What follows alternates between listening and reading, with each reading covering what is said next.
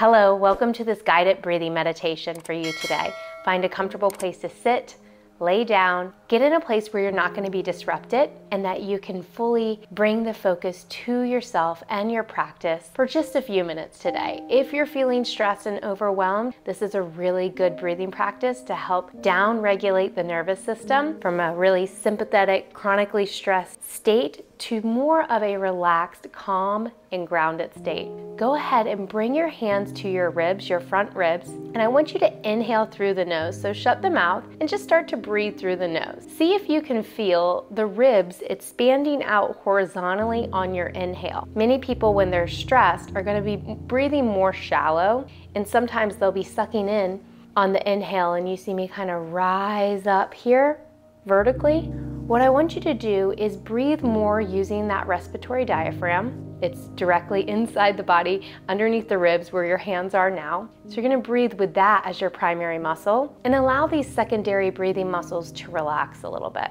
You should feel an inhale, expansion, equal, even pressure as you inhale. Feel the stretch on the belly, the low back, the pelvic floor, and kind of those ribs will expand out. So you get even inhalation pressure. And then I want you to exhale slowly and take your time going to the end of your breath. Fully empty out all your air on the exhale. Let's practice together. Inhale for one, two, three, four. Exhale, eight, seven, six, five, four, three, two, squeeze the air out, one, and repeat. Inhale, one, two, three, four. Exhale, eight, seven, six, five, four, three, two, one. Good. Inhale, feel the stretch from the inside out. Good.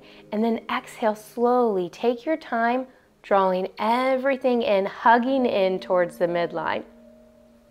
I want you to continue with that breathing pattern. Don't get so focused on the counts now that you have the pattern settled. All you need to know is that your exhale is going to be longer than your inhale. And the more comfortable you get with this 4 8 breathing pattern, the more easy are they going to become to lengthen out the breath. So you are going to be able to lengthen out your exhalation longer the more you practice this. Now, this is a good thing. Keep breathing. This is a good thing because when we look at people who are under a lot of stress, overwhelmed, we often find they're over breathing. So they're breathing short, shallow breaths throughout the day, but they're also breathing really fast. The breathing rate is up. Usually when they're stressed, they might be breathing out of the mouth, so they're mouth breathing and taking in a large volume of air. All of this leads to over breathing. Now, sometimes people get the sensation of air hunger when they've been over breathing too long. Air hunger is going to be that sensation that you can't get a satisfying breath, and therefore you're breathing more. You're cueing your body, I need air, I need air. I need air. And when you overconsume oxygen, just like if we overconsume anything else in our life, we tend to want to overconsume more and more and more. So the more breath you get, just like the more food you eat, or the more work you do, sometimes we get in this habit of overdoing it. We want more, we consume more. And what now we're trying to do, because your oxygen level is usually pretty high if you've been over breathing, we're trying to get raise your CO2 and help you become less sensitive to CO2. How do we do that? We do it by lengthening out the exhale. So a shorter inhale followed by a longer exhale. This will help to downregulate that sympathetic, stressed out response, and it'll help bring in more of a parasympathetic nervous system response. Now, if you've lost your pace because I've been talking, let's come back together and finish with four more relaxing breaths, four, eight pattern, same pattern together.